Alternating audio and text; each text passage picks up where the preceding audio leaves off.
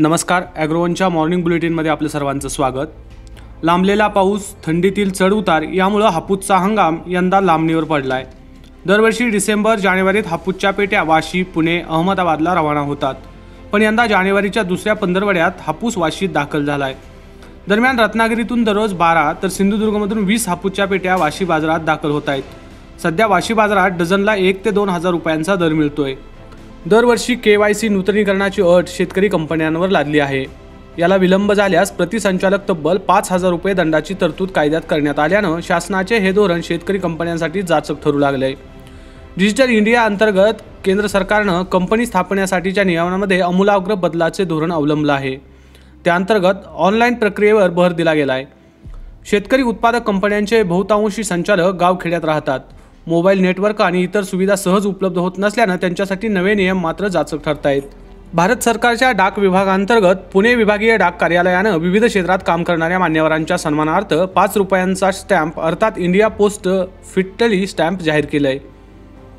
पुणे जिल्ह्यातील दौंड तालुक्यातील खोर या छोट्याशा गावातील अंजीर उत्पादक शेतकरी समीर डोंबे यांचा स्टॅम्प छापून त्याचा सन्मान केला आहे तसंच भारतीय पोस्टाच्या स्टॅम्पवर एका युवक शेतकऱ्याचा फोटो येतो ही कौतुकास्पद बाब पाहून नेटकऱ्यांनी त्यावर भरभरून लिहिलंय. दरम्यान इंजिनिअरिंग पूर्ण केल्यावर चांगल्या पगाराची नोकऱ्या सोडून समीर डोंबे यांनी शेती करण्याचा निर्णय घेतलाय. यंदा आधारभूत किंमत योजनेअंतर्गत शासकीय खरेदी केंद्रावर तूर विक्रीसाठी शुक्रवारपर्यंत परभणी जिल्ह्यातील आणि हिंगोली जिल्ह्यातील मिळून नऊ हजार एकशे चोपन्न शेतकऱ्यांनी नोंदणी केली आहे. पणन महासंघाच्या केंद्रावर तूर खरेदीचे आदेश देण्यात आलेत. तर विदर्भ सहकारी पणन महासंघाच्या मानवत येथील केंद्रावर आजपासून तूर खरेदी होणार असल्याची माहिती सूत्रांनी दिली आहे. कोल्हापूर गोकुल दूध कर्मचाऱ्यांचे काम खडतर आहे. इतर कामगारांप्रमाणे त्यांनाही कामगार विमा मिळाला पाहिजे यासाठी पाठपुरावा सुरू आहे.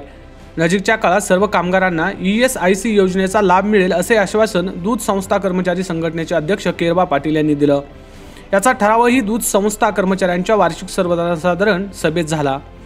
तसेच कोल्हापूर जिल्हा सहकारी दूध संस्था कर्मचारी संघाची एकविसावी वार्षिक सर्वसाधारण सभा पी टी पाटील सभागृहात झाली.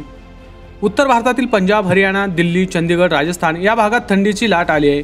या थंडीच्या लाटेचे प्रवाह महाराष्ट्र आणि विदर्भाच्या दिशेने वाहत आहेत. यामुळे राज्यातील थंडीत वाढ झाली आहे. येत्या दोन ते तीन दिवसानंतर राज्यातील थंडी पुन्हा काहीशी कमी होईल.